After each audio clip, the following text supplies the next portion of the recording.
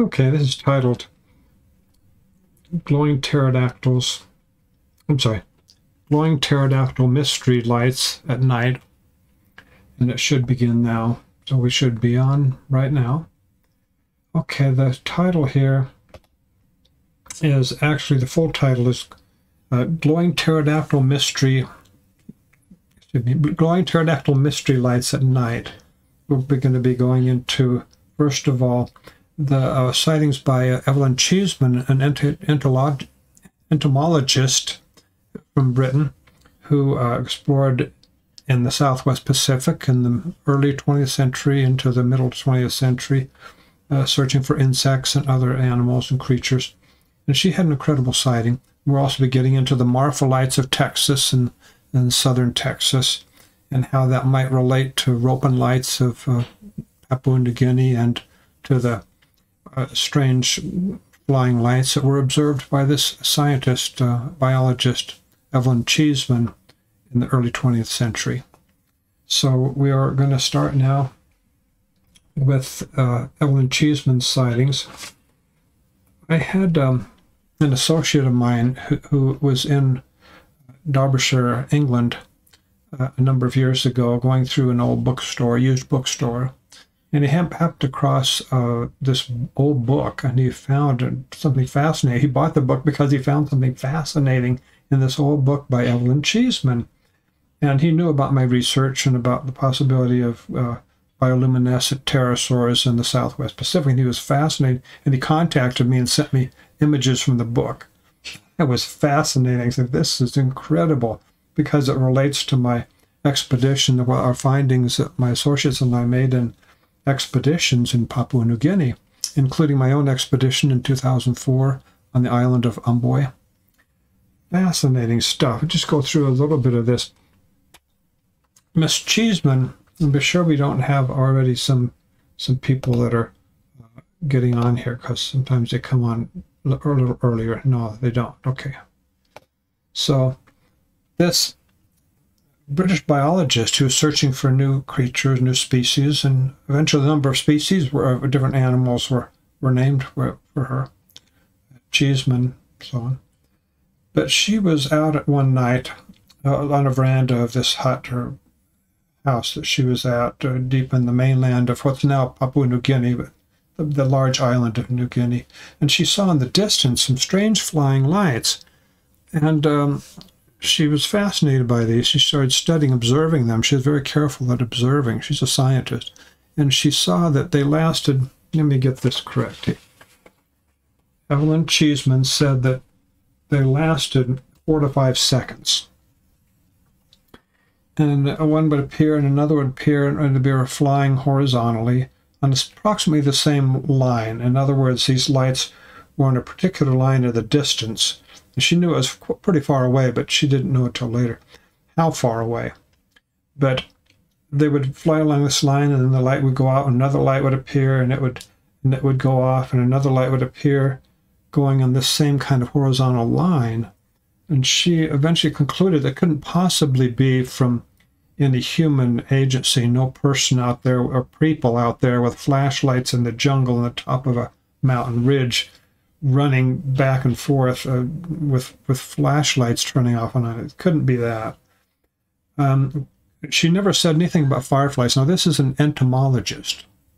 Cheesman was a specialist in insects. If there was any possibility that these things could have been fireflies, she would have mentioned that and she would have uh, gotten onto that immediately because, but these were very far away, uh, like in terms of miles away, and they were quite bright obviously not fireflies.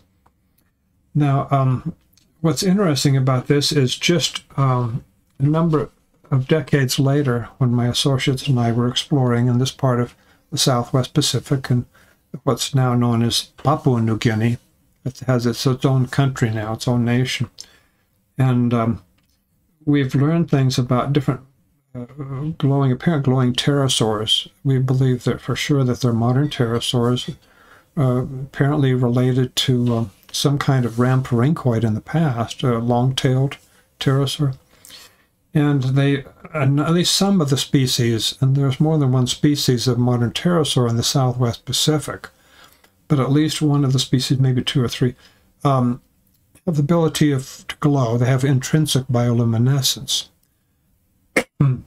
I've mentioned this in my books, uh, especially uh, Searching for Ropens and Finding God, and have the fourth edition here available if we need to get into that. See if anybody is on on so far. Not yet. Okay. So anyway, she was she was really determined that she was going to stand in the same spot on that uh, porch area, the veranda. She was going to stand on that same spot in daylight and look in the same direction and determine where these lights were. Where she did that, and she found out. Sorry, I don't have the, the precise details, but she found that there are a certain number of miles away on this mountain ridge that was in the distance. And so she she determined it couldn't possibly be from the natives with what what the British call a torch, we Americans call a flashlight. It couldn't be any natives with flashlights or torches, as they she would call them. Uh, this is impossible. It was for one thing. It was a, it was near the top of a ridge, which is dense jungle, you know, and it was moving horizontal lines, turning off and on. It's, it couldn't be people with any kind of light source. It's just people can't move like that, and especially that concerning it looked like it was uh, apparently just above the treetops. In other words, not in any, in any trail or anything that and there wouldn't be any trail at that area anyway for a straight line for some distance. It was not just not logical.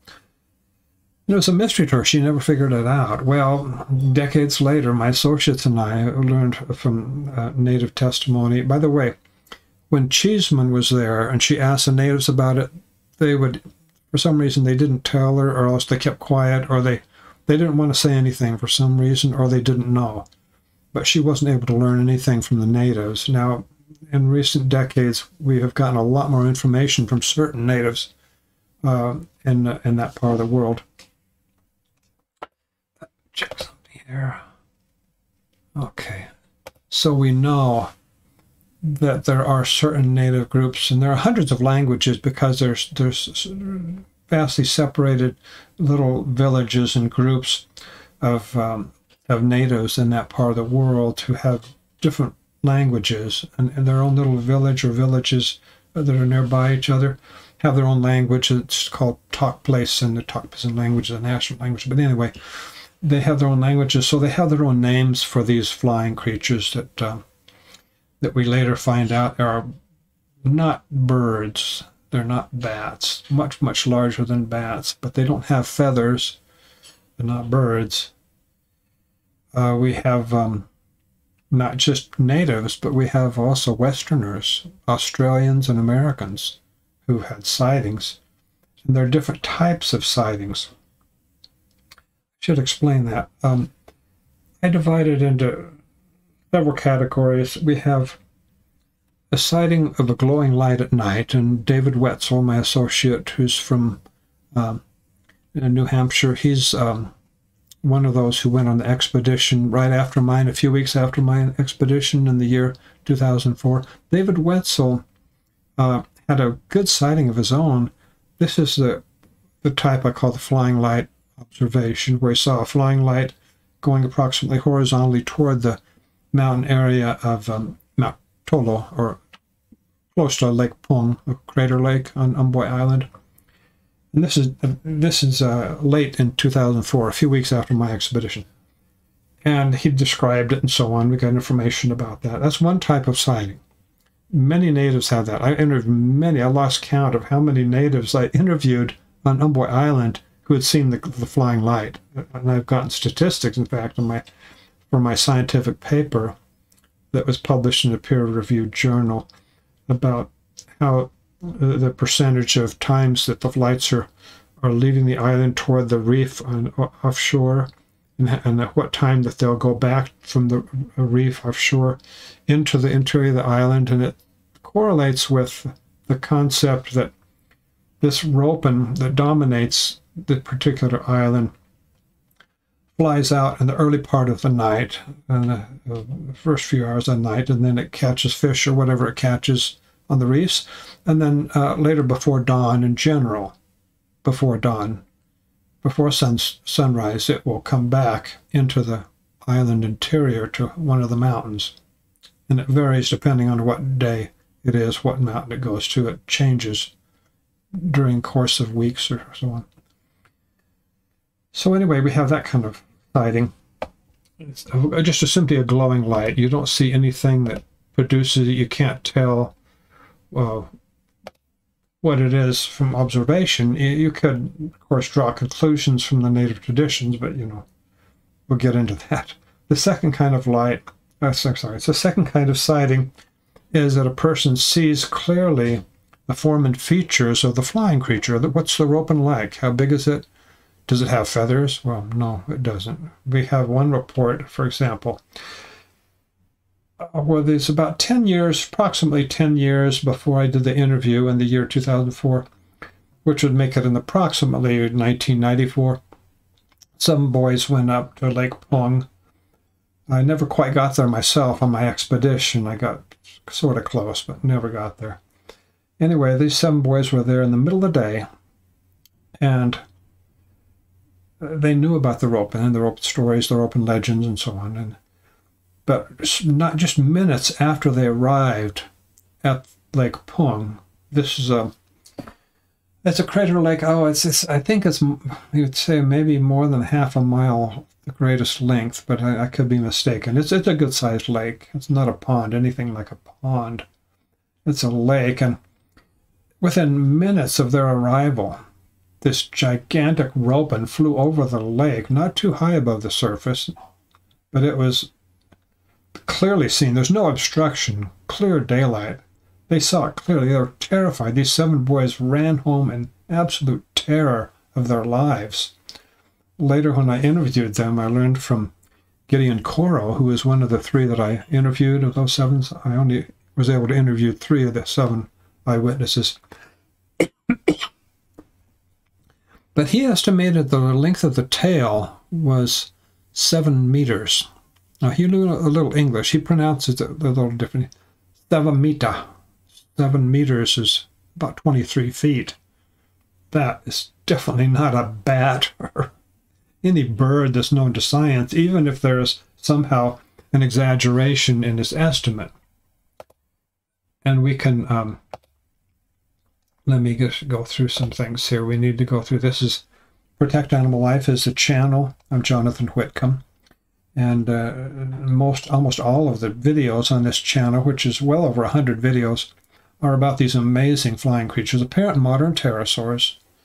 And uh, I'm really excited to to get involved and with anybody who is an eyewitness anywhere in the world. So please contact me if you have a a sighting or you know of somebody that has had a sighting, even if you're not sure that it really was a, a pterodactyl, please feel free to contact me. Let me know about what it was, because I've received hundreds of eyewitness reports over the last uh, 17 and a half years, and these eyewitness reports are directly from the eyewitnesses. They're from five continents of the world, five continents, and um, even hundreds of them from just the United States.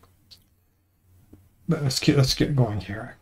Keep on moving on. Okay, the URL for the uh, YouTube uh, channel. So we have the second type, which is you see the form and features. They saw the the, the, the huge wings. They saw the long tail. It had a diamond-shaped structure at the end of the tail, and uh, at least two of those three eyewitnesses were very clear.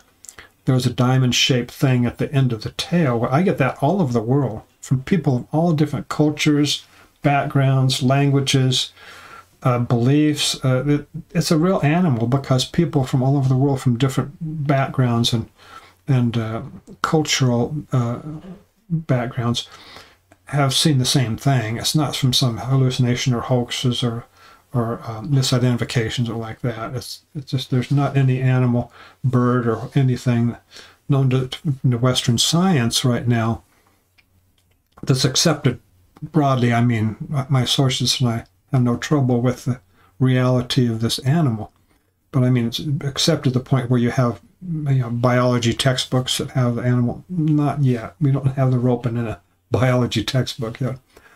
So what we have is this second type of sighting, which is you can see clearly the form and features, and how about how big it is, perhaps, but mainly you know how the uh, how, how it has a horn at the back of the head. Sometimes I would see that, and so on. But then there's the third type. That type is uh, oh here's a hamhead glowing pterodactyls. Is it with the CIA? No, no, it's it's nothing to do with the CIA. CIA, I think. The um, but uh, welcome. Uh, glad you're here, Hamhead. Uh, feel free to ask uh, whatever questions you want or make any comments you you feel appropriate. We have um, uh, hundreds of sightings of these glowing lights over the years, and some of them, my associates and I are convinced, are these creatures are called. Many of them are called ropen. R O P E N. Let me see if I can get something on that. This is an image uh, sketch. It was drawn by the eyewitness Patty Carson, who had her sighting around uh, 1965 at Guantanamo Bay, Cuba. And a few years later, uh, a U.S. Marine had his own sighting, which was incredible. He had his drew a sketch of that. Two pterodactyls, he called them. Anyway, the ropen has a long head crest and long tail with a rhamphorhynchoid-like structure at the end. And this is the way things are at present, no matter what people say about rhamphorhynchoid pterosaurs of the past. It's just this is what we have today is this creature that dominates the sighting reports all over the world. And I've received hundreds of these reports just myself. Keep in mind that tiny, tiny fraction of the world's population who's had a good sighting of anything like this only a tiny fraction tell me about it. There's hundreds of thousands, at least, of people around the world who had good sightings. I don't mean just some flying, I mean good sightings. They saw clearly what it was, and something like this often. This is the most common type. So we have reports of these things, and they have um, different results that people have in different places. But the third type, again, the third type of sighting is different from the first two, but it's a combination of it. In other words, a person sees some of the former features. They can see that it's a flying creature with wings, for example. They might see it has a tail. But they also see that the creature is glowing. In other words, like, for example, uh, Jonathan Ragu with his don't remember if it was a son or daughter, but with his, he had a, a, child with him, I believe. I don't think it was a grandchild. I think it was a child, and they witnessed it on the. Um, this is on Umboi Island on the coast, on the northwest side, as I understand, of the coast of Umboi Island, as the creature was flying out, had a long tail, and they got a detailed interview of this man, Jonathan Ragu, from uh, my uh, friend and associate Garth Guessman excellent. He gave me a copy of the forums where they get the details of all these things that they, they got for the information about. Fascinating. I had met another native who also had this number three, three type of sighting. His name is Jonah Jim. I was in a kind of hurry at the time to get off the island. I was running out of money and the boat was about to leave. I had to get out of that part of the island. So I didn't have a, much of an interview with him, but he told me he had a sighting. He told me basically what it was. But fortunately, a few weeks later, my associates came there, Garth Guessman, David Woetzel, and they had a detailed interview with this same man, Jonah Jim. He also had this number three type of sighting. He saw the wings and the tail and so on, and he described what was glowing. He, he made an approximate uh, estimate for the size of it. It was big. And that's a long story of getting to the details of the size and how it relates to the sighting by these seven boys in daytime. But it was when the sun, I think, was either just set or it was there was enough light he could see some things, I believe. But anyway, he could see it was glowing, but not the whole thing. Part of it was glowing as it flew overhead. He said directly overhead, I think actually it was a little bit to one side, not exactly um, above his head when it passed over him, but it was, it was close enough. You know, people say overhead. it was mostly over his head as it passed over.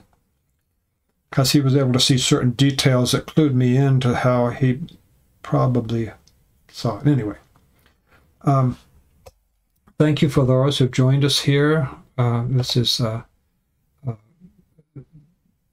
one of many uh, live streams that we've been having. Many of them are Friday late afternoon, uh, Mountain Time. And of course, it, we usually conclude by about six or six thirty Mountain Time, which would be eight or eight thirty Eastern Time. And of course, there'd be a an hour difference in in the Pacific time in in uh, in California, for example. So this is number three type sighting. This is important. We have people in North America who've had uh, this number. Not very many of them. We have some who've had this third type of sighting, which I classify related to bioluminescence, where they see the glow of the creature and they see some of the form. We don't have very many of those. That's rare.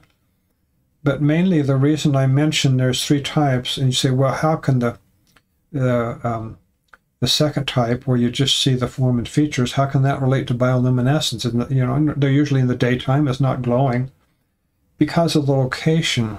And uh, for example, on Lake Pung on Umboi Island, it's where these seven boys were daytime, of course, it's not glowing. They, they don't glow in the daytime. Ropens don't glow except at night, and it's only for a few seconds at a time. But because of the circumstances, remember this, for example, I guess you might not know this, but I'll tell you. When I say remember, remember what I'm about to tell you. Jonah Jim was just a, a little bit south he was, uh, of Lake Pung when he was talking with me, and he climbed the coconut tree and chopped off a coconut chopped off the top of it so I had something to drink. I appreciated that kindness. But he he told me that the creature he saw, he called it Ropen, of course, obviously Ropen to the natives, it was flying generally toward Lake Pung, and that was fairly close. This is very few kilometers away, pretty close. And that's circumstantial evidence, and I'll show you why. And just a few weeks later, when I'd already left the island and my, my other two American associates, David Woetzel and Garth Guessman, to come to that same island and started their expedition, there was a time when they were just on the other side of Lake Pung, which is the north side. I was on the south side. They were on the north side. Garth Guessman went somewhere to do something with the natives in the village, I think Mararamu village or something. And David Woetzel noticed this flying light, incredible glowing light. He said it was, he'd never seen anything like that before. And it was flying towards the Lake Pung area and disappeared behind a mountain. So he couldn't say for sure that it was the Ropen, except the circumstances uh, seem to all fit together now. Remember, uh, an American sees a strange flying light glowing toward Lake Pung. And a native, Jonah Jim, sees this glowing flying creature with wings and long tail, and it's glowing at night, flying toward Lake Pung. Years earlier, seven boys had been up there in the daylight and seen a gigantic ropen with a long tail, which is what was described by Jonah Jim it's not a coincidence. These things basically they they fit together. The native traditions, of course, help uh, see uh, some possibilities. The natives say that it is a flying creature. The ropen does glow at night, and people see them. Well, couldn't it have been something else? Could it be maybe an airplane? Airplanes are illegal at night in Papua New Guinea, and if it wasn't, the pilots wouldn't fly much at night anyway, except the main airliners, you know, into the airport. That's different. But the small planes, no you don't fly over a jungle at night uh, in that part of the world. It's, just, it's even if it was legal, and also the perspective that people have is that this is a low flying light. It's flying low, just a little bit above the the treetops of the jungle, jungle canopy. Now, do we have anybody here yet? Uh, just joined us in the chat. Yeah, we do have Ilya, Ilya Kovalchuk. Thank you for coming back, Ilya. Glad you're back with us. Quetzalcoatlus, or the biggest flying creature ever? Is there any possibility that they might be alive still? Well, definitely a possibility, but I wouldn't count too much on that specific uh, type. Um, in other words,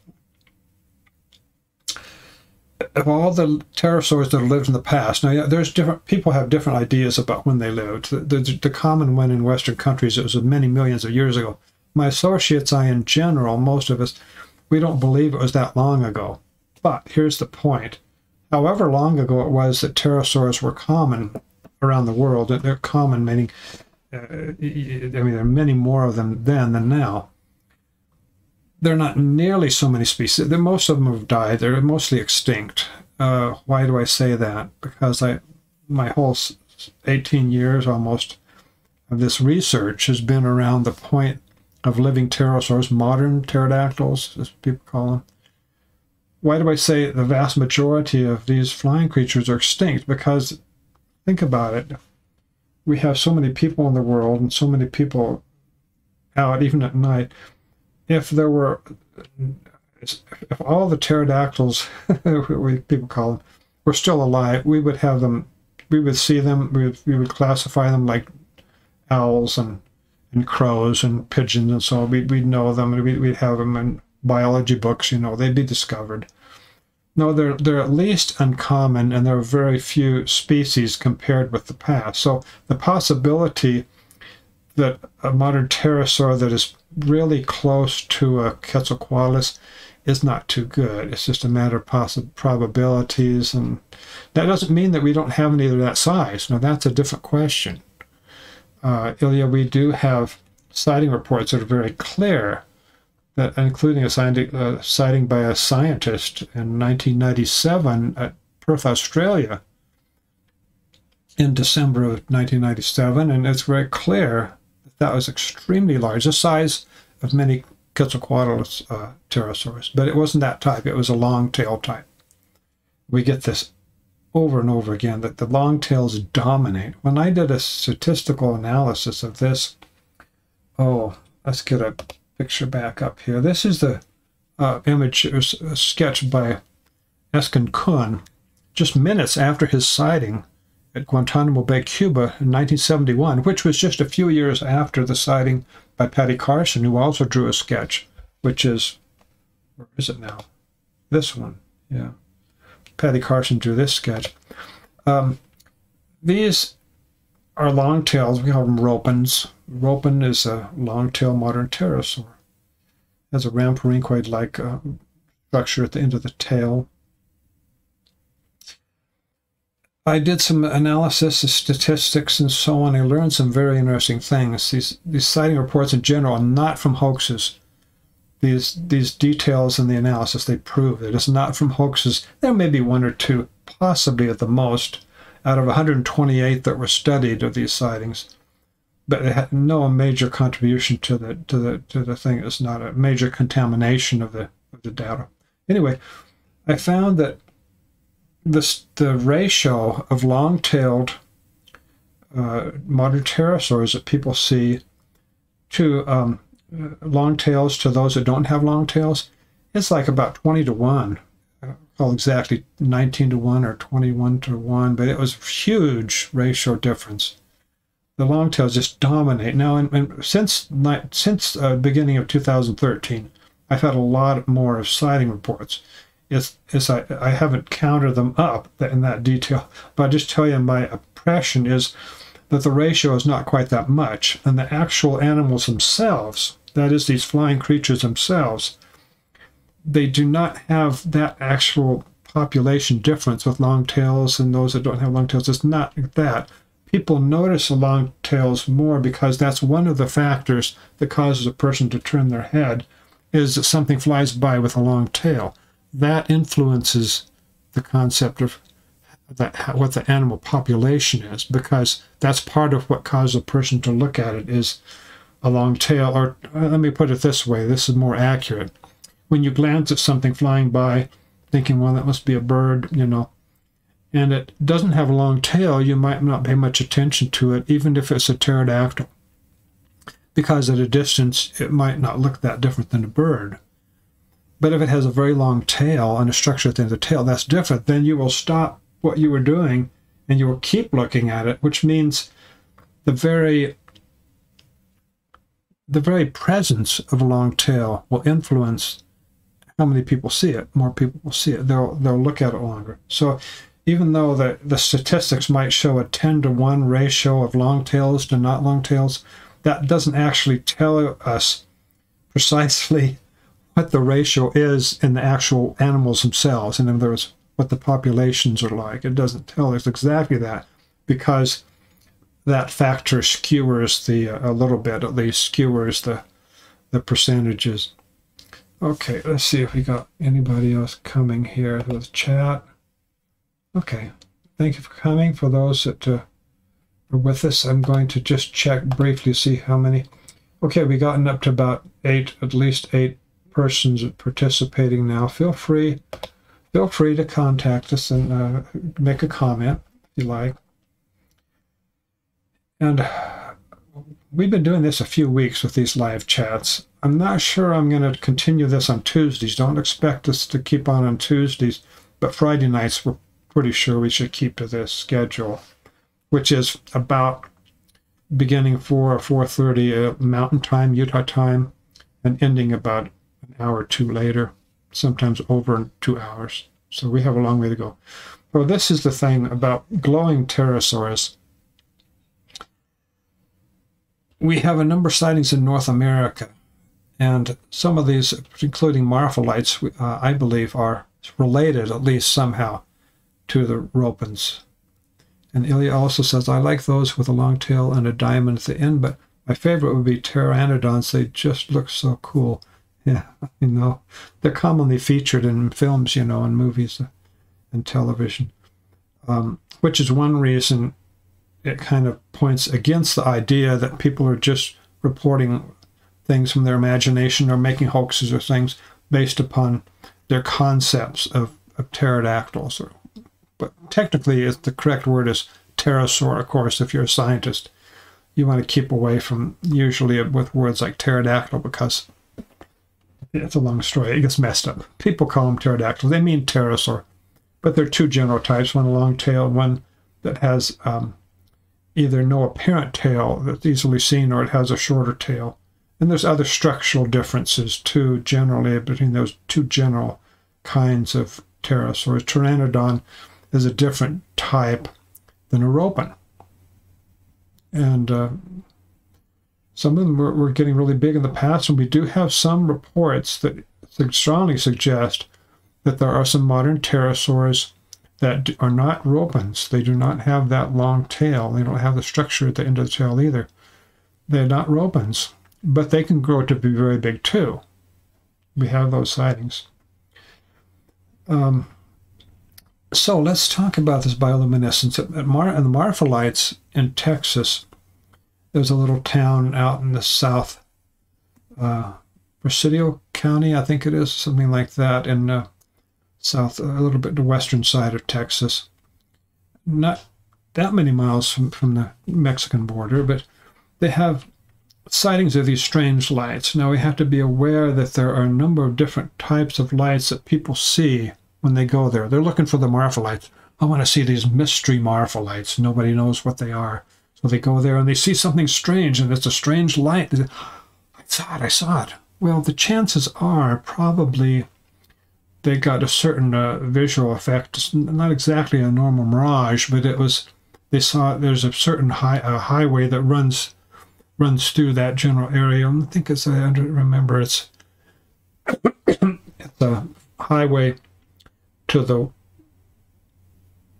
to the west of where the the more incredible lights are seen, and people look there off to their right when they're on the this structure. This was built so that you can stand there and and look out over the this uh, plain.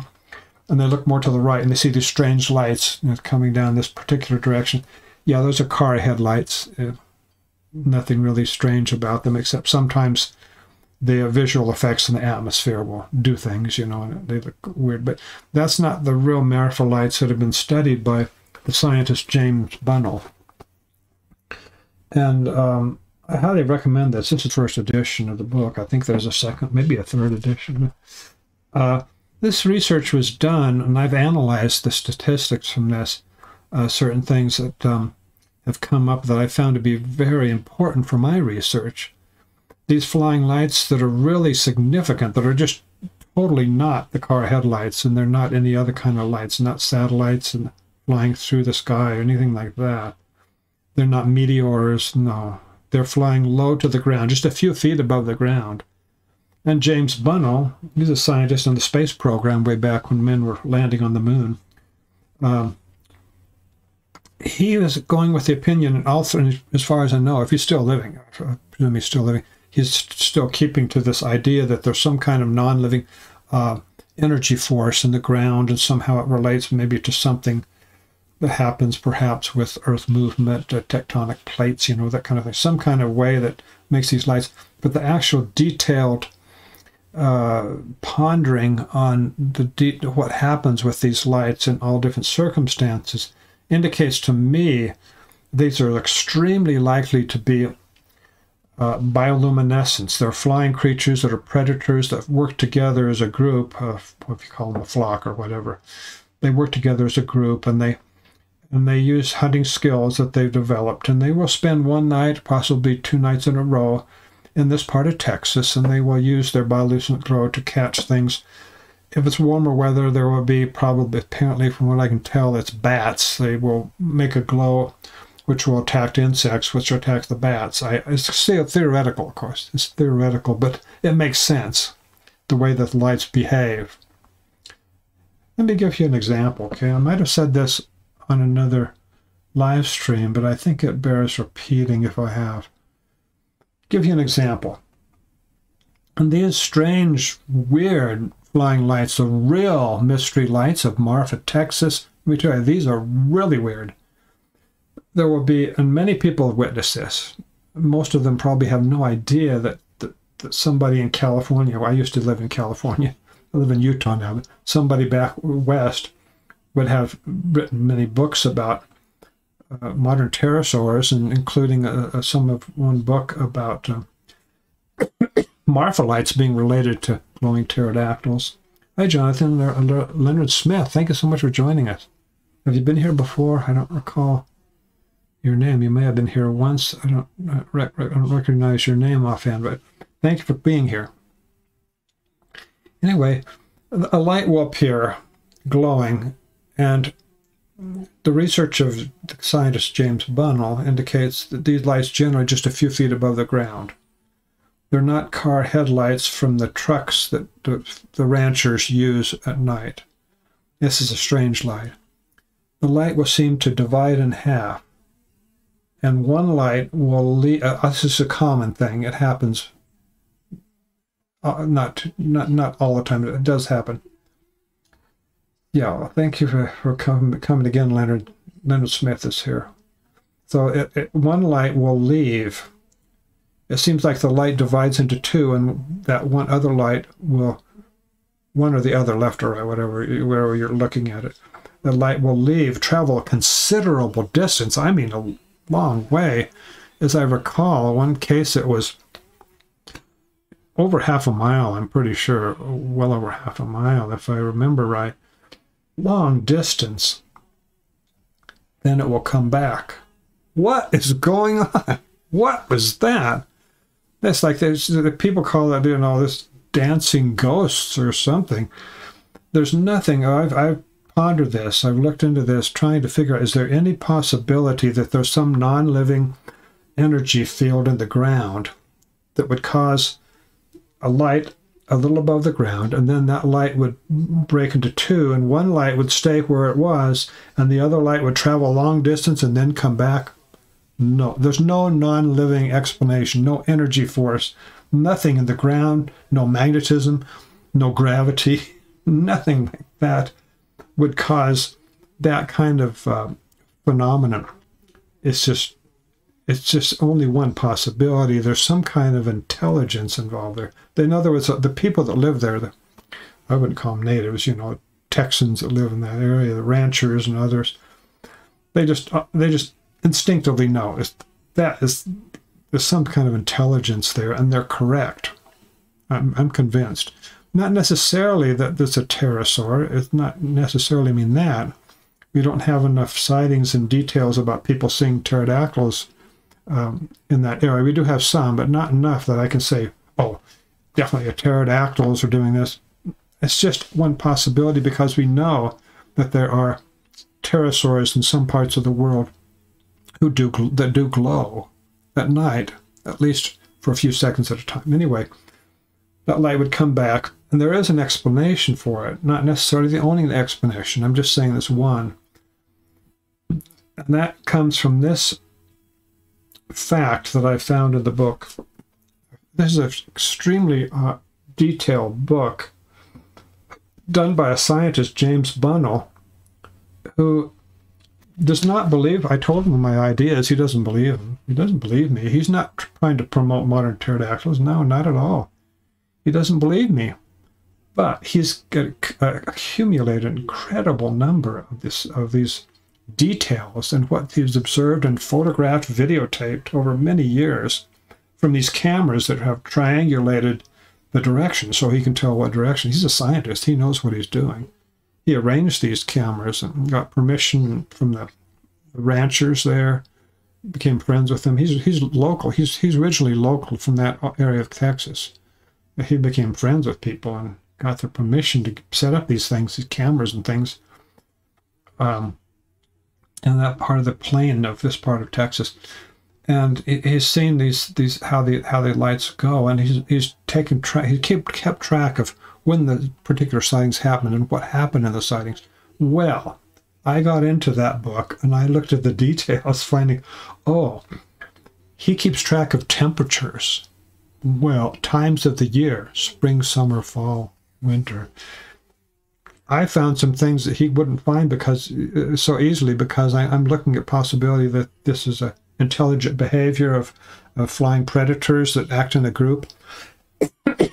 when that light seems to divide. It never divides. It's always two. It was always two. Even when there was no light there, there were two flying creatures hovering a few feet off the ground. They turn on their bioluminescent glow, which is intrinsic, meaning they have control of the light. They turn, one of them at least turns on the, the glow. The other one would turn on the glow flying close to it. They're close together to do this hunting routine. It's, I know it's incredible how can they be so intelligent? But there are some predators in the world that are extremely intelligent and actually, for example, some big cats in Africa are just, you know, off the top of my head, they're extremely intelligent. They were doing extremely intelligent things with, with hunting and so on. Anyway, when they divide, it seemed to divide and the light seemed to divide and one flying away, it actually always was two flying creatures. Always was. Whether they had the lights on or not. And what happened when one of those flying creatures took off a certain distance, the other one continued to glow. The bats that would be in that area might notice that one of them had flown away, so they'll feel a little bit more brave and catching insects. And those are, this is probably, I say, I believe it's the Eptesicus fuscus, the big brown bat, which is uh, found in many areas, including this part of Texas. The Eptesicus fuscus or something like that, the brown, big brown bat. It will get a little closer to this, what they knows is a predator or feels scared of it. It will get a little closer because one of them's flown away, and it will catch the, the insects that are around the light, like it does when it's around a, a for example, a, a, a porch light at a ranch, for example, and the bats will come to catch the insects there. Well, as they start to feel more comfortable, start to Several bats are flying around catching the insects around this light from this glowing creature, which may or may not be a pterosaur, or some kind of glow, uh, flying creature, bird or whatever. The other one comes back, and if I understand, it will not have the light on. The light will be off at that time. It'll turn off its light before it gets there. we'll grab a bat, I'm sure. Pretty sure you know, as sure as you can be with a speculation like this. But I think that's what happened because if you look at the temperatures, you notice that something interesting. Okay, uh, this is Leonard Smith. Where in Texas is Marfa located? It's sorry, I don't have a picture right handy. It's uh, um, it's southern Texas, and it's kind of more to the west side, but very much southern, and it's uh, an um, desert uh, area where they have a lot of cattle, cattle ranchers and so on. And I don't remember how far it is from the Mexican border. Not that far. Like I don't, I don't remember how many miles it is, but it's not that far. It's pretty far south. Small town. You you can find it though. You you look on the Google map. But anyway, if you look at statistics on this from this book, it's uh, it's saying that when the temperature goes down, now this is usually, of course, in the colder times of year, of course, but if you just look at the temperatures, the temperature goes down, you still have the sightings. They still occur, but they do not have that characteristic of two lights splitting in half and then another coming back and then turning off. It does not have that characteristic. Why?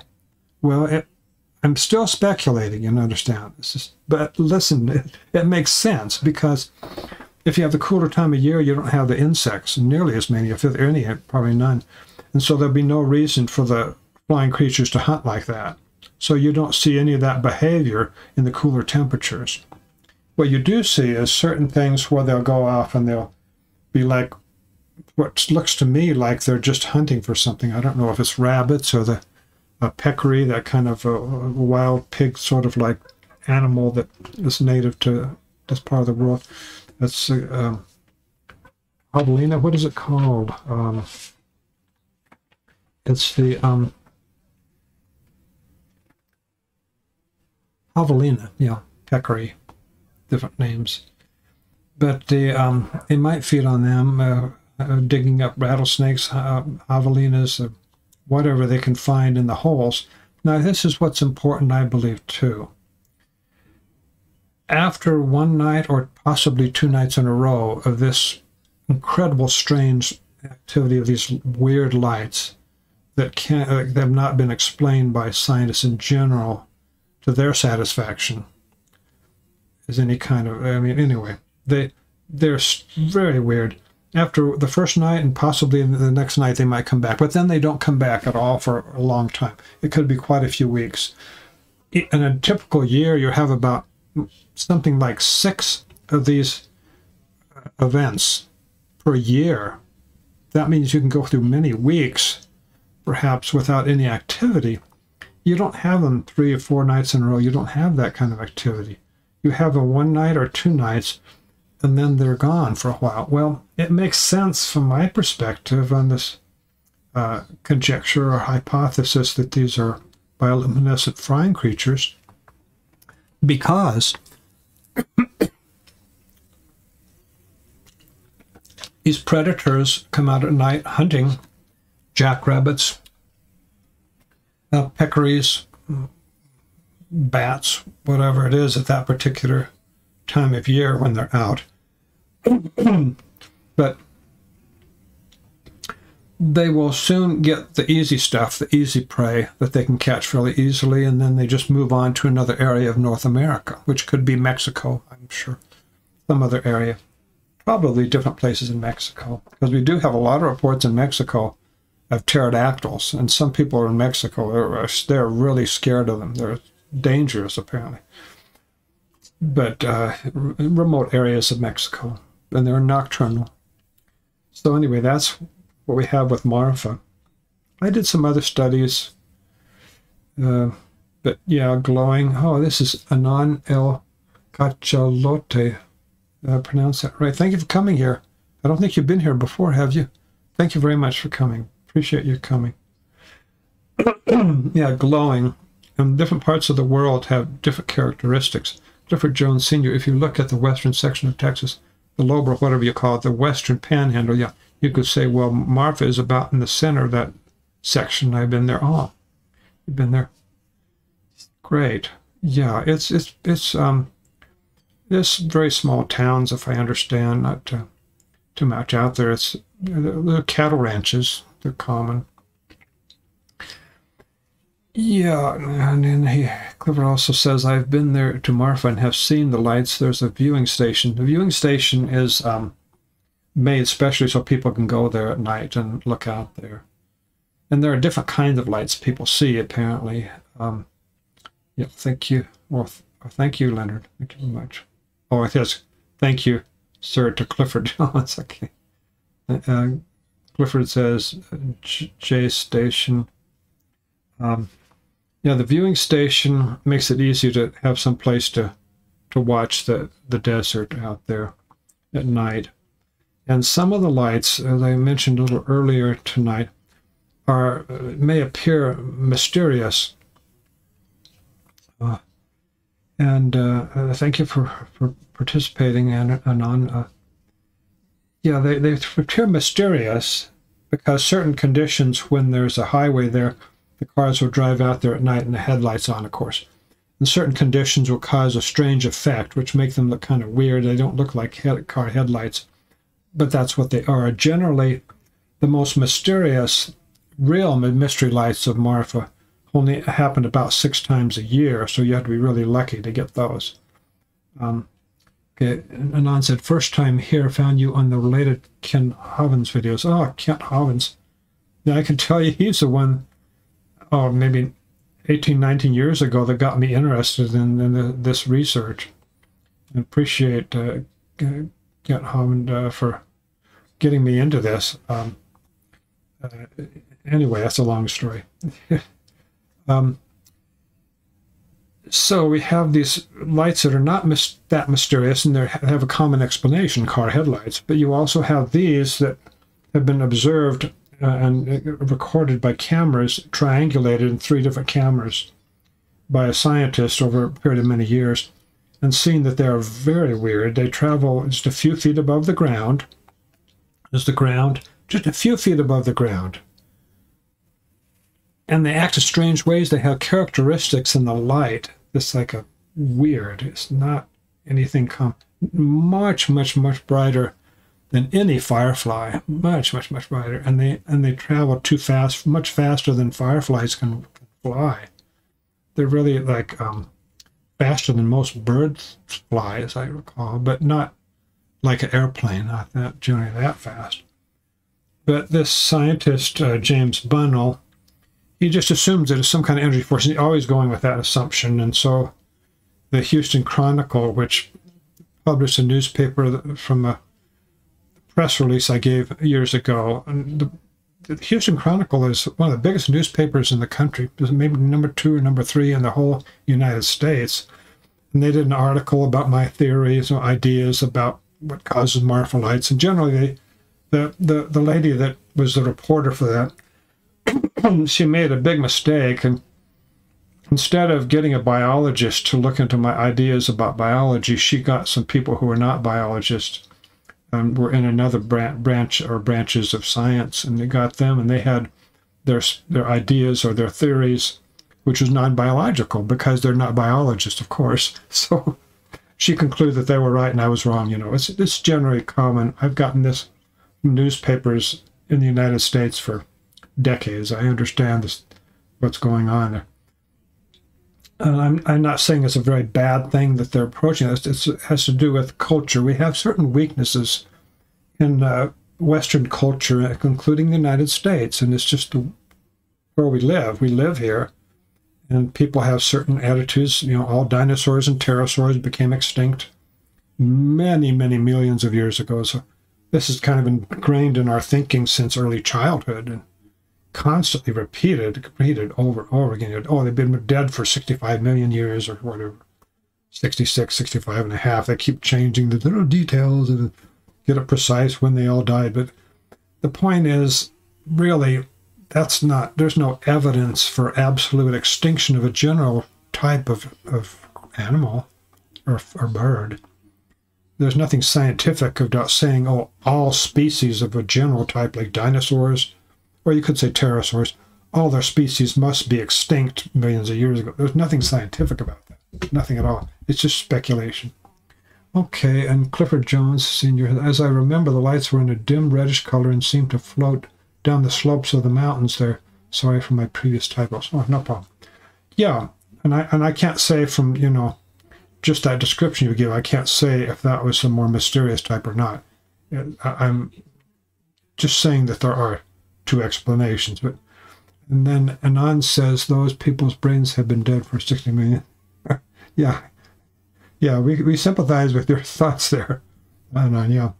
The, um, the thing is, it sounds weird, and I know there's another newspaper in Texas at the time, many years ago, they're extremely sarcastic, you know, glowing dinosaurs flying over Texas, you know, and of course, you're making little distortions to each one. Pterosaurs are not dinosaurs. Glowing, you know, they glow, yeah, uh, but they're not real dinosaurs, of course. They're pterosaurs. They're winged animals with wings. But that's just one possibility in the general um, hypothesis that these are uh, flying predators that act as a group at, at night to catch whatever they catch on the desert.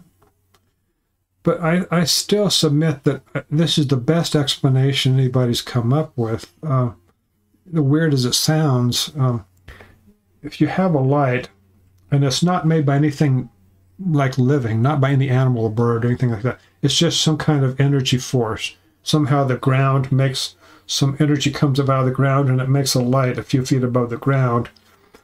And that light divides in two.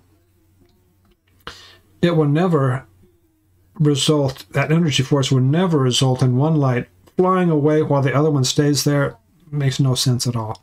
And then later the other flying light will come back. Uh, no. There's no energy force that acts in that weird way. It just doesn't. If, if it's if that type of thing is a is something intelligently directed, some kind of purposeful activity. Something's going on there. I, I the best I can tell it's and that happens in the warmer weather, you know, when we have higher temperatures where you have insects and then the the uh, the big brown bat of that part of Texas, it will catch insects at night and they will go to lights. And these are lights you know weird as they are they are lights. That bats should go there in warmer weather to catch insects that will be around the light. It all makes sense. Um, it sounds extraordinary that, that those flying creatures could be that intelligent to do that but it's not the exception. There are animals in the world, predators, that have incredible technique for hunting as a group. Incredible. Even small ones. And don't dismiss it just because it seems that nothing uh, other than humans can be that intelligent. there is very great intelligence in many predators.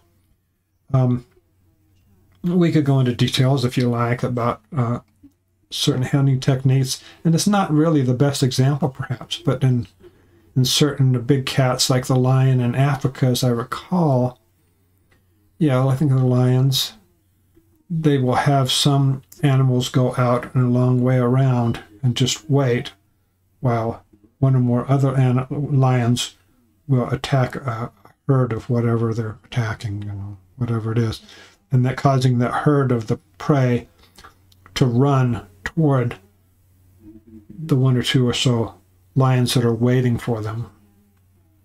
You know, lions, they can't communicate, you know, in, in English or German or French, you know, it's plan out this thing in the language. I don't know. They, they do it and it works. I, I don't speculate about how that came to be, but it's just an intelligent behavior. It's a habit. They, they know that it works. So they keep with the good habits. If it works, you keep you keep doing it. Get back to some other things. So this, I'm Jonathan Whitcomb. For those new, you come here on the Protect Animal Life uh, YouTube channel. These live streams generally are, are on Friday late afternoons and into the evening, depending on your time zone in the United States or elsewhere, it would be very different, course. And this is the contact form, so you can communicate with me by email when you do communicate with this form, you do need to just stick to the basics for the first time, but just send your, fill out the very simple short form, and, and that will be coming to me as an email. And then when I email you back, then we can communicate with regular emails and we can include uh, attachments, images, photos, whatever you want to send me or uh, continue without having any kind of form to fill out or that's once only form.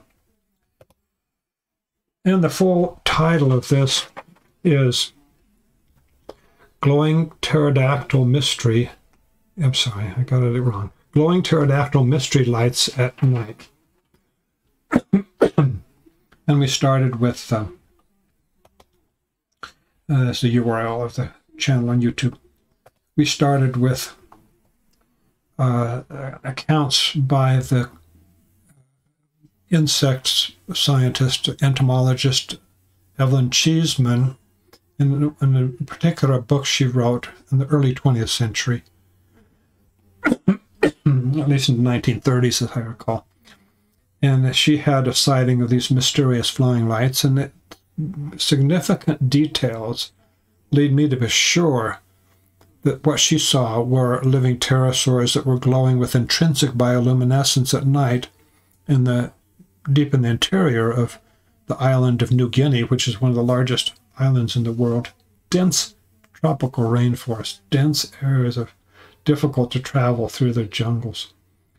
So we do have other accounts too in um, Yakima River of southeastern Washington state, for example, where we've had uh, these strange flying lights. And I've been to the area at daytime with two of the people that have observed them. and it looks like an ordinary river there in southeastern uh, Washington state.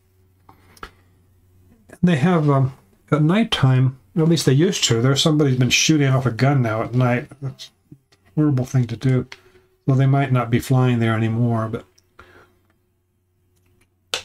they are flying in another area of that part of the country at night over a different river. But in that case, you can say, well, maybe it's something else. It's not a pterodactyl. Well, yeah, except if you learn a little more, you find out that in the tree that my two friends uh, and associates told me they had seen a light fly out and fly down over the river. You know, this particular tree on the bank of the river. In daylight, another man had been driving past, there's a, a road right past it. He'd drive and he saw a pterodactyl in that tree, the same tree where other people have seen a flying light take off from the tree, the same tree, and go over the river like it was fishing. I don't think it's a coincidence. No.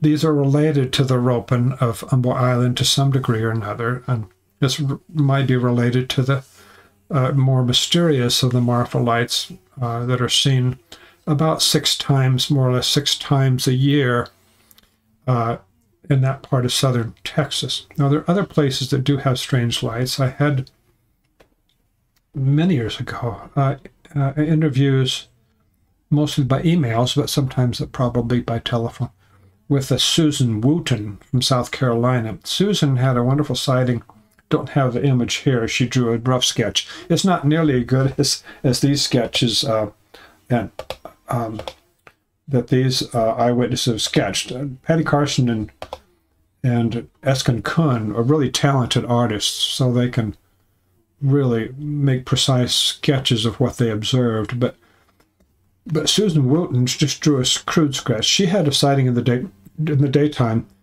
in South Carolina, in the remote rural area, farmland area, and swamps and so on, as I recall. And and so she saw a huge pterodactyl, long tail. And then she remembered after she had been communicating for well, maybe years, we'd been communicating for a while, maybe a few months perhaps, but she remembered there's another place in South Carolina. She's been there. And it's a place where they have these flying lights at night. They're called the um, Bingham lights, B I N G H A M, Bingham, something like that, Bingham lights. And she related to me some things she had experiences there and going there and seeing these strange lights flying through the swamp just over the surface of the, of the water, apparently, uh, in the swamp. And uh, I thought that's interesting. Possibly they're uh, same phenomenon, the bioluminescence of, this, of the same creature. And there are other places in the United States where they have strange glowing lights. Now, not all of them by far are, are, are pterosaurs. Some of them, for example, and they're there, I don't remember offhand all these different names. Each different location in North America, especially the United States, they'll have they'll have this flying light at night that people see sometimes, and they'll they'll give it a name, whatever they give it, according to their location or some legend about some headless uh, man that got uh, hit by a train or something, whatever. Uh, but the, sometimes you will get a detail like,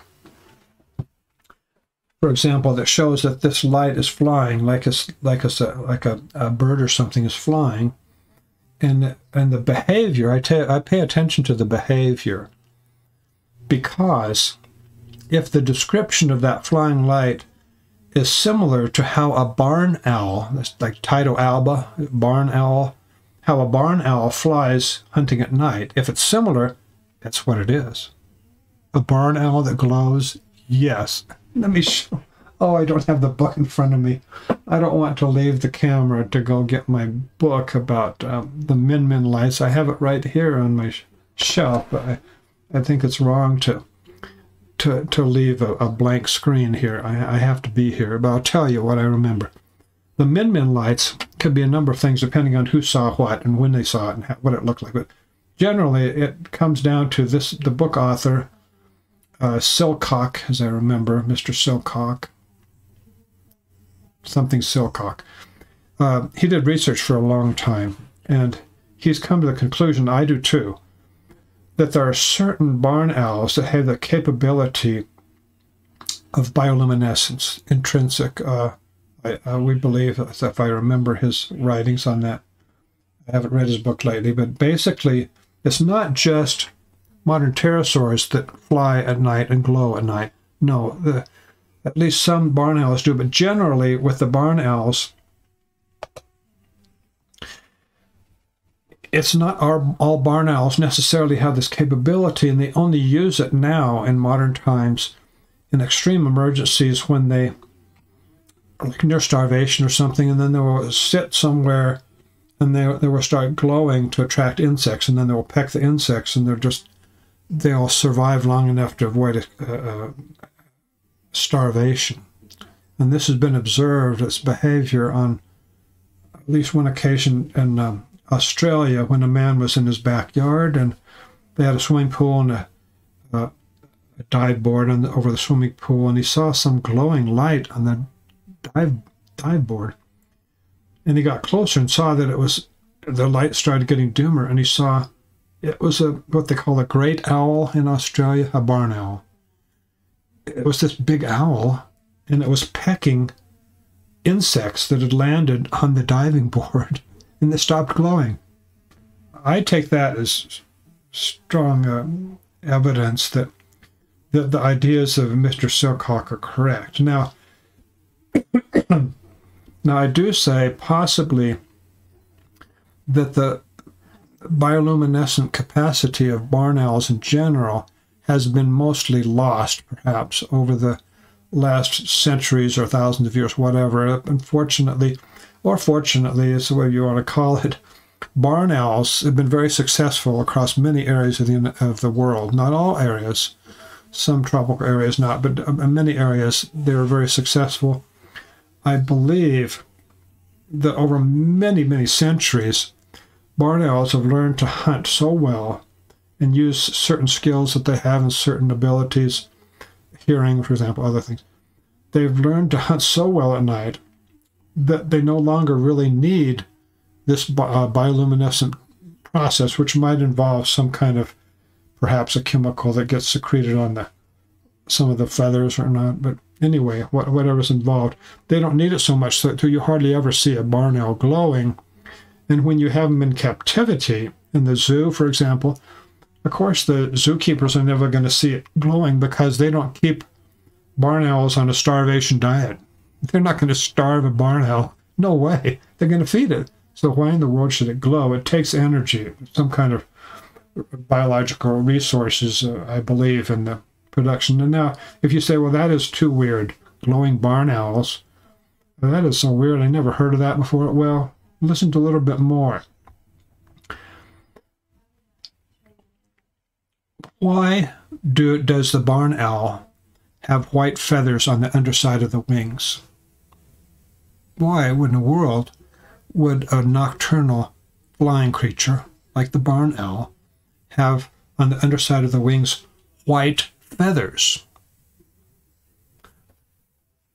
I mean, it, it, it can turn on, it could be seen so easily sometimes by a mouse that happens to be out at night. And all of a sudden, the, the barn owl comes with the big wings and there's white on the underside of the wings. It's all white. What in the world is going on there is because it's not too many centuries ago when the barn owl would rely on the bioluminescence. And they had white because it allows the light to go through. The light can get through the, the feathers and it can use the bioluminescence for whatever it used to use it for. Apparently not much anymore, but someplace in the United States they have reports of these strange flying lights that I don't think are pterosaurs. No, they move like hunting barn owl. Sometimes you have two of them, two lights that are flying together, and they move. There's a certain pattern to to um, barn owl behavior, the way they fly. Yet long trailing tail is a giveaway there. Yeah, there's a ropen long tail. Thank you for joining us, Wide Gauge. Thank you for coming back again. And it looks like your image there is looks like something like an owl. Is that right? I don't suppose it's a barn owl, maybe. Anyway, I like that image. Cool. We're just talking about barn owls. I'm glad you're with us, Wide Gauge. Um, anyway, the uh, there are certain traits in the pattern of how barn owls hunt at night. They will fly in certain ways, certain ways that they go back and forth, and not too fast, and they will go not too high above the ground generally. And um, I believe that when you have part of the United States, wherever it is, that people report this strange glowing light, I believe that these are certain barn owls, Tyto alba, or, or sim, similar to Tyto alba, that still have this capacity that's been that was, that was more common in many centuries ago. They still have the capacity to glow, and for whatever reason, they're using that bioluminescent capacity because they do look. Um, so glad you're here, wide gauge. They do look like they fly like barn owls. I think that's what they are. But then there are other cases North Carolina area is one weird place, a certain mountain. I don't think there, there's nothing like barn owls. They don't fly like that. And I understand some people say it's UFOs, but no, not in Marfa, Texas. I don't think there'd be any intelligent uh, extraterrestrial uh, uh, beings that would come here to our planet and for whatever, however they do it, whenever they come here. And then six times a year, just pass a few feet over the ground in Marfa, Texas area, as if they're hunting rattlesnakes. I don't. It's not very intelligent for people that can, beings that can, can that can travel to different galaxies and stars. And uh, they wouldn't be hunting rattlesnakes and jackrabbits uh, in the middle of the night in a remote desert in Marfa area. No, they're they're um, normal flying predators happened to have uh, gotten very intelligent way of acting together to hunt together. Oh, so I have been more uh, better prepared. We could go into some things in Papua New Guinea here. And that is, I, I learned my expedition a lot of things, but one of the things I learned was that the ropen, and it's generally a single large, big ropen, that will spend the day on a particular whatever mountain it happens to be in close to that day. And then when the sun sets at night, it will fly from that mountain to the closest, I presume, the closest reef, whichever reef is closest on the on out, off the shore of island. The reef is really reefs are really close to the island. They're close, and it will go there and catch fish, perhaps a giant clam, which sometimes it will get. But this uh, ropen has a particular type of bioluminescence. It, it, can control when it turns it on, and I know we may have gone over this before, but it has the ability to turn on the glow a particular time. When it needs to land on a particular tree, for example, on a peninsula, uh, on the northern side. You can look on a map if you want. You probably find that little peninsula on a, um, a NASA a satellite image of Umboi Island in Papua New Guinea. It will land on a particular tree near the end of that peninsula. And as soon as it lands there, the light will go off. According to the natives, the light will go off. Then later, the light will come on when it goes down to the reef to, we presume, to catch fish or whatever it eats. Um, so that's what the natives observe in that part of the island. Now, we learned that not from my particular expedition, but a few weeks after my expedition, the two Americans that came after me, they were in the, in the northern part where I didn't go. And they got to talk to natives in that area and learn about these things that the natives know about it. But one of the things that the, the Ropen will use with the bioluminescence, it will turn it on as it's about to land on the tree branch or whatever it lands on on that particular tree. and then the light will go off. Now this we need to consider, and I'll give you my opinion. I, I feel pretty strongly that the Ropen does not actually turn off the light. He can't decide when it goes off. It just his his secretion on his skin or whatever it is that he uses to cause that glow. It's basically used up that chemical that causes that glow. And so it has to wait wherever it is until its body can can produce the new uh, secretion or whatever it is, new to, to glow again. And it only lasts for five or six seconds. Now, the two natives I talked to, David Mulcahy and William Gima, estimated five seconds. Uh, Gibson uh, who talked to the other Americans uh, a few weeks later said five to six seconds, which is practically the same thing. I mean, natives don't normally have a stopwatch, you know, that they're timing things, but they know about different things like time and distance and so on. and this correlates with what was seen by Evelyn Cheesman, the scientist, the British entomologist who explored uh, decades earlier um, quite a few decades early, and, and by that Southwest Pacific on the mainland of New Guinea. When she said she estimated the time that the glow took place was four to five seconds, which is close enough. Close enough. I believe what she saw were uh, ropens that were at least related, if not the same species, as the ropen of Umboi Island that I um, questioned natives about in the year 2004. I think it's could be the same species or closely related. Anyway, so in that case, it makes sense. What happens is that the Ropen has the ability to turn on the glow, but it just glows brightly until it's all gone and there's nothing left. It has to wait for a while before it can turn it back on again. He doesn't waste it, I don't think, only if he really needs the glow. And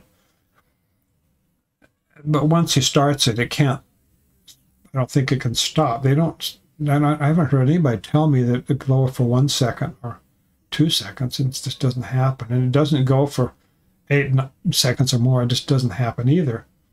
So it makes sense. It, it has the ability to turn on that glow and uh, push out that secretion or whatever is onto the skin, which will produce that whatever reaction is that causes the glow and then it just glows until it's gone. But I do think that there is very, very likely something more precise here that's possible with the ropens. That, for example, this one ropen that has lived on Umboi Island for so long, it's basically it was controlling it if it's not already still there or taken over by another ropen that kicked it out.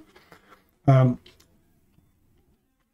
it has the um, that similar kind of ability that others do, but the ropen itself is, is not the only one that's ever there. Occasionally there will be uh, another rope and large ropen, often it's not always large and smaller, that will come in and possibly breeding might be done. There might be baby ropens possibly in the jungles and not seen much. I don't know. I don't know if it's a male or female that's up there that's been on that island for so long. And it's not necessarily the same one as in the year 1949 when I questioned a old man who was probably just a boy at that time. 1949 in Gomlongon Village when a glowing light light came down to the to the graveyard and it um, a man had just recently been buried there and they, that tradition there was they cover the graves with leaves leaves I don't remember the Kovai language word for leaves but uh, it's it's leaves and um, so the ropeman, of course, easily pushed away the leaves and got the body. And when they came back in the morning, they saw that the the grave is open and the body is gone. Well, they knew what happened. I mean, they had eyewitnesses saw the light come to the grave. That's not the normal diet of a ropeman, however, and it's probably not the same ropeman at that time in 1949 as in around 1994 when uh, those uh, seven boys saw the ropeman in daylight with a tail length of about seven meters, according to the one estimate. And it could be an exaggeration, you know. It's not necessarily that long, but you know it's a very long. If the if uh, uh eyewitness estimates uh, 23 feet long, you know that it's it, even if it's less than 23 feet, it's a long tail.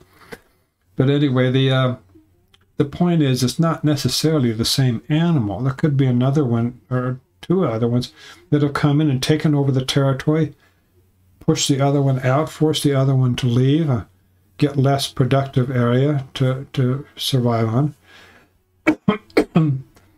and the one seen by Jonathan Ragu, which was glowing, and you could see the wings and the tail, and it was glowing as it took off that, night from the northwest corner of the shore, the coast of Umboi Island.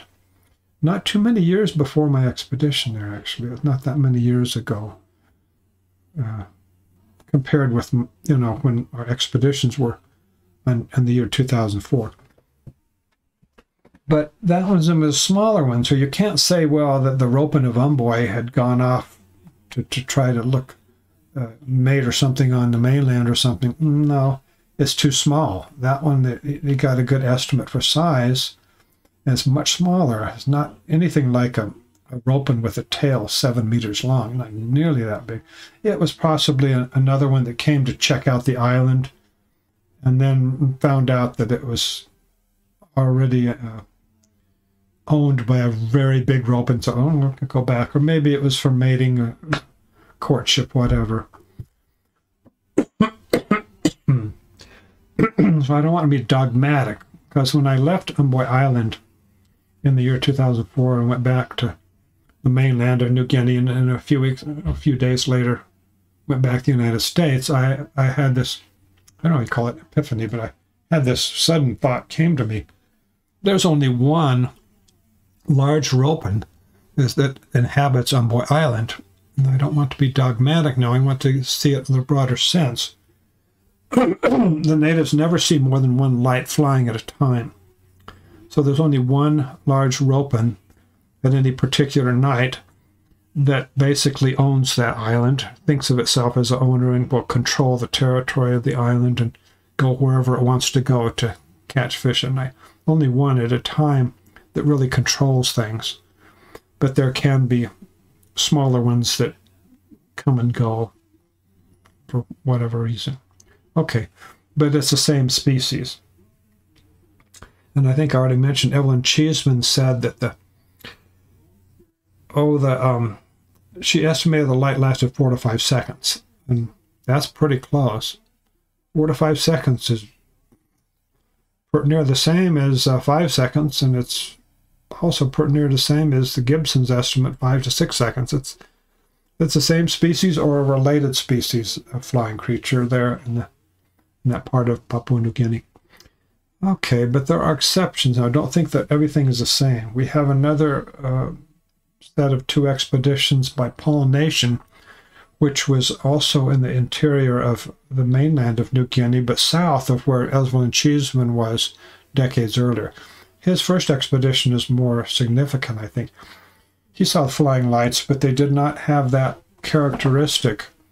Uh, in other words, they were not limited to just a few seconds, like five seconds. It was not that, as I recall. I'm sorry I don't have the exact details, but they lasted longer. Maybe not the same species, but very possibly maybe also a living pterosaur. And they were um, observed, and we got notes of that. That's also in my book, uh, Searching for Ropens and Finding God. So, um, any more questions we have about this? Uh, let's see how many people we have going here right now. We have uh, off and on more like eight, seven or eight uh, people here. Thank you for coming. The subject is bioluminescence in modern pterosaurs.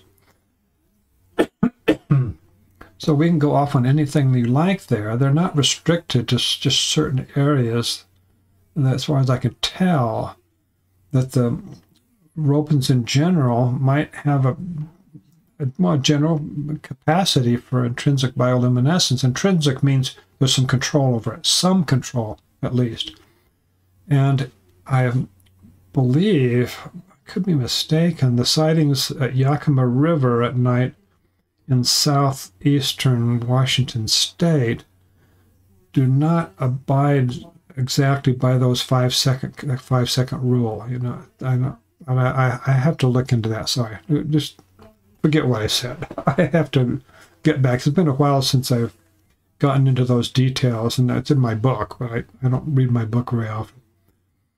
So there are um, some cases where there are some barn owls, Tyto alba, or something similar to that species of barn owl, that can glow under certain conditions. Um, and it might be a trait that is being lost gradually over a period of many centuries as the barn owl has it's called uh, this particular kind of evolution. Uh, some people call it devolution.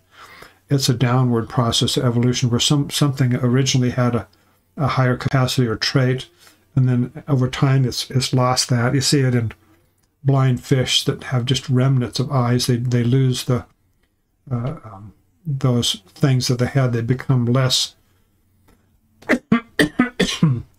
They're kind of like the opposite of what you usually think of like evolution. Just they, they go downhill. Possibly the barn owls are in that process now.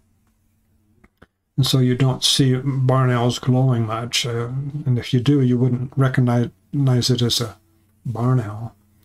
But that shows you it's not just parent modern pterosaurs that are flying creatures that have bioluminescent poss- possibility of, of a bioluminescence that's uh, intrinsic. In other words, it's not some kind of fungus that they picked up in a cave, nothing like that. They turn it on when they need it. And uh, and we have another book that I don't have in front of me. But it's uh, called uh, "The Min Min Light," "The Visitor Who Never Arrives," or something like that, by Fred Silcock, S I L C O C K, I believe and that's a good book. Excellent. I highly recommend. It's hard to find. You can't. I don't think it's available on Amazon or something like that. Very well researched.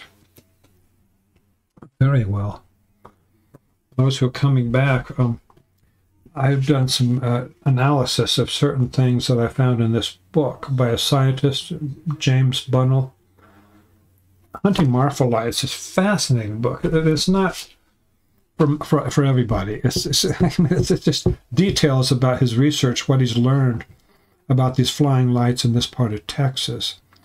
And there, he's categorized the different lights. I mean, he's categorized all these different kind of lights, and some of them are uh, particular mirage type of lights from headlights under certain atmospheric conditions. And they appear uh, extremely unusual, strange, but they're not really unknown They're car headlights, just under strange conditions. Then the other ones, which come back about six times a year, and I'm sorry, I know I'm repeating this, but people might have come in.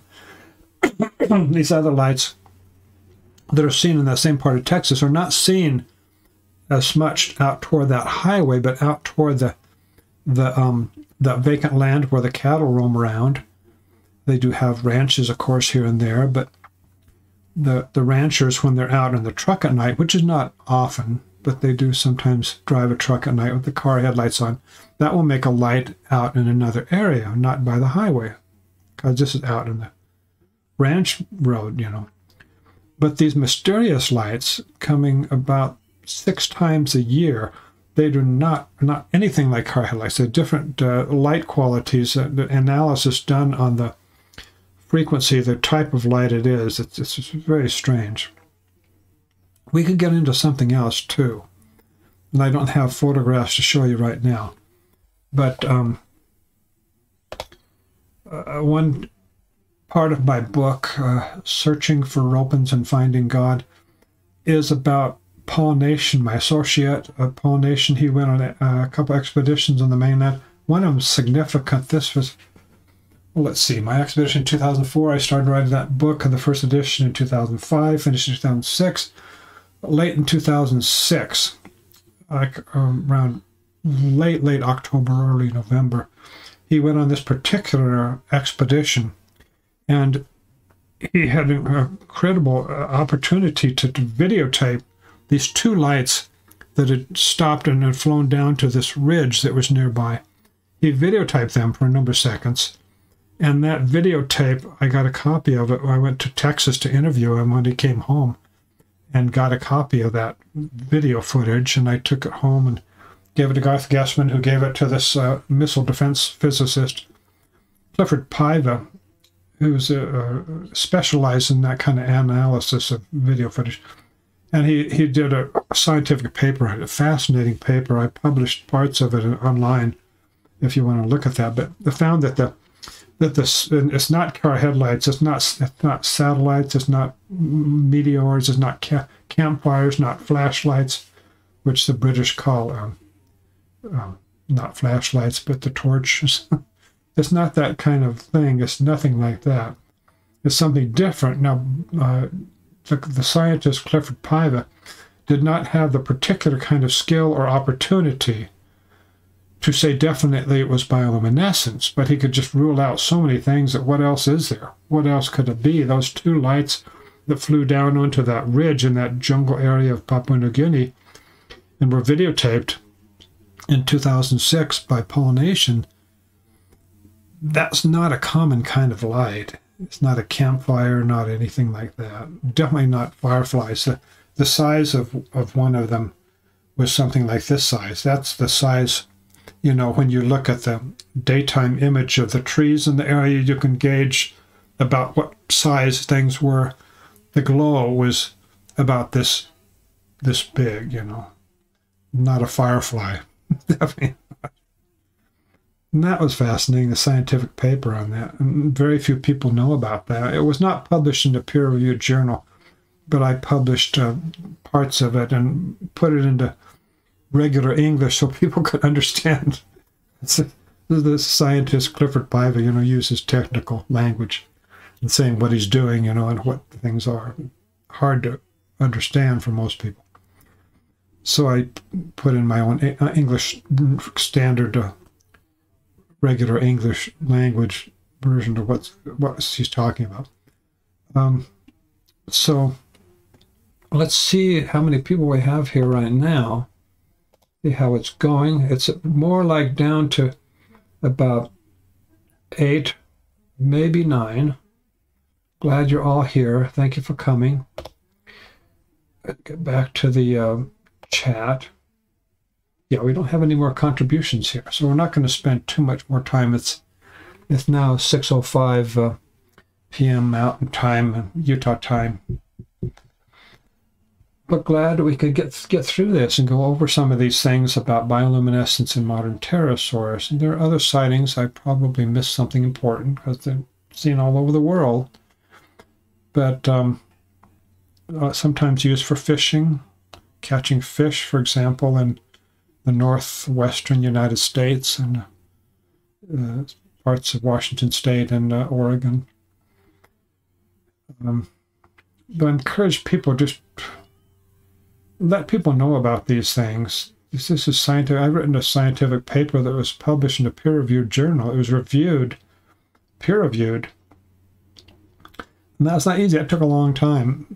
I'd, I'd rather write a book than to go through peer review process of writing a scientific paper. That takes a long time. But I got that done. That was uh, reports of living pterosaurs in the southwest Pacific, if you want to look online for my scientific paper. Basically, it's a, a number of things related to, to, to modern pterosaurs that appear to live in the southwest Pacific and my expedition and the expedition of uh, uh, others. So uh, let's get together again a week from today. We'll be um, having a different subject. Feel free to tell me anything you like about these videos or this video, what you like about it, so I can know what to concentrate on, what to look into more. Um, feel free to go, go to the comment section if you can. If you have on a desktop, it's I think it's easier. But go to the comment section below this video after it's published uh, in the regular way on YouTube after the live streaming is over. And then um, leave your comment. What do you like about this? What would you like to hear more about? What would you like to be the same? What you would like to be different? You know, feel free to, if you like something or any other the videos that I have, maybe the shorter videos that are more entertaining of music and special effects and are more succinct and uh, can you get through them quicker and just generally more fun to watch, I think. Thank you so much for being here. We'll get together again. Okay. Thank you. Have a good night.